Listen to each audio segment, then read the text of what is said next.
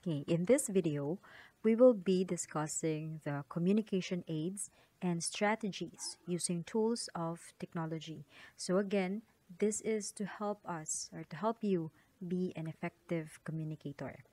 For this video, our learning outcomes are identify communication aids to help achieve an effective communication. So again, I'm going to repeat this again and again. The purpose of this subject is for you to have an effective communication in whatever forms. The next outcome for this video is to use the effective strategies using the tools of technology. The communication aids. What do you mean by communication aids? From the word itself, communication aids, meaning it aids communication. Aids means helps, so it helps communication. So communication aids also referred to as AAC devices. So AAC or augmentative and alternative communication. And it is defined as a huge range of techniques which support or replace spoken communication. So it's a huge range of techniques no there are a lot it can be digital or books um, pamphlets and all that. It's in it's it's in uh, movies animations anything that support or replace spoken communication. So there are two main types of communication aids. You have the unaided communication and the aided communication. And we will discuss each of the each of them in the next slide. Unaided communication. So this means that it does not use any additional equipment like your phone or laptop slides and all that. It just people typically use body language, gesture, vocalization, or signed language. So nothing except the faculties that you have as a person. No equipment added communication aids aided communication. So this is different from unaided because unaided there's no additional equipment. This one it uses equipment. So the equipments can range from low tech to high tech methods. So when we say low tech an example of that could be the book books that you carry around with few pages or pictures or symbols. So that is a communication aid right? When you say high tech we that is the use of devices. So your cell phones tablets laptop. And also in aided communication there is an alternative hardware options are available to provide access like hardware. Hardware something that you can hold like books and yeah the device. So that is those are the equipments that can use or help us to communicate when we say again when we when we communicate we share our ideas and our knowledge. So this equipment help us distribute those information. Let us define the term multimodal. This is commonly used now with the uh, current educational system. When we say multimodal it is defined as the strategic use of two or more communication modes to make meaning. So when you say modes, what are the modes? Multi means ma many and modal. So multi, many modes that is used to make meaning. So what are the modes? We have the written, written or linguistic, audio, visual, gestural, spatial. So when we say written or linguistic, meaning it concerns spoken and written language through the use of vocabulary, generic structure, and grammar.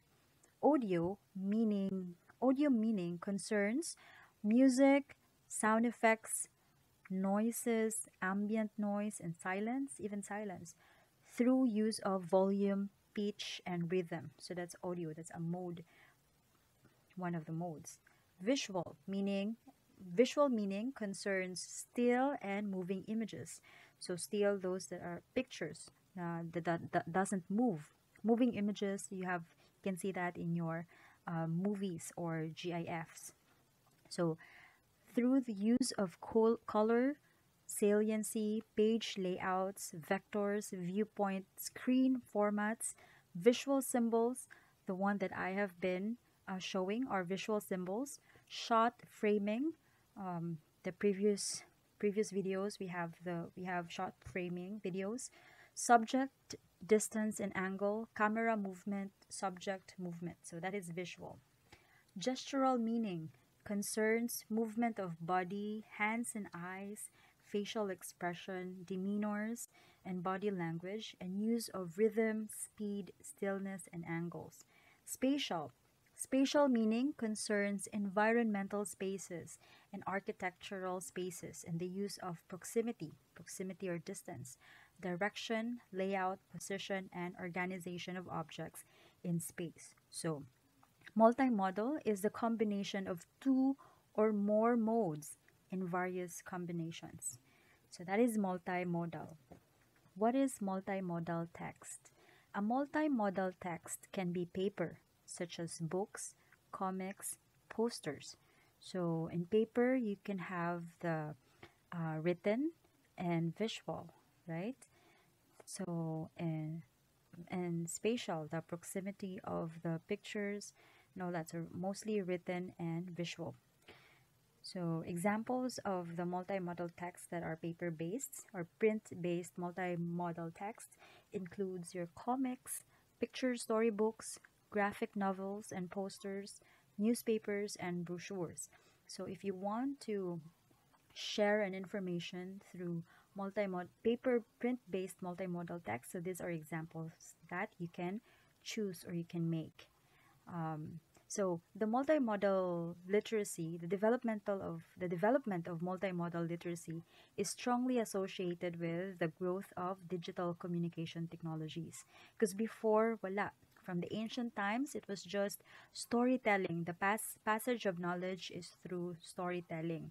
And then they started to write it on the caves and then we used they carved it in the stones and then we use papers we have ink and paper and then now we have digital medias. So the multimodal literacy is associated the development of it is associated with the growth of digital communication technology. So speaking of the digital there a multimodal text can also be or can be digital so from slide presentations just like this one that i have um, ebooks, blogs, e-posters, web pages, and social media through to animation, film, and video games. So, in ano na ang passage of knowledge, it's exponential. Before, before it's just books. You cannot have, you cannot learn something unless you read. Now, people can make um, people have can can easily disseminate their knowledge through multimodal text or digital multimodal texts. A multimodal text can be live, so a performance or, or an event because we have the visual there, spatial. There's also um, linguistics, audio. So that's uh, that's also uh, a multimodal text. And then lastly, a multimodal text can be transmedia where the story is told using multi multiple delivery channels through a combination of media platforms. For example, book, comic, magazine, film, web series, and video game mediums all working as part of the same story. An example of this is The Hunger Games. So there's a book of that story and then uh, a sequel, uh, movie sequels, and so film. So there's i think there's also some video games about it. So that's a transmedia. So we can say that that's the highest form of multimodal text.